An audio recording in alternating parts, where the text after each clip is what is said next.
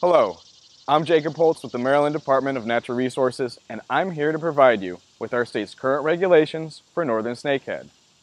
Anglers targeting snakeheads must possess a valid Maryland fishing license, but there are no seasonal limitations, nor are there regulations limiting the size of the catch or number of individuals harvested. In fact, we actively encourage the harvest of each and every northern snakehead caught. Anglers who wish to release live fish may legally do so, provided it is done immediately and only back to the water from which it came. Anglers wishing to harvest the fish are reminded that each one must be killed directly after it is caught.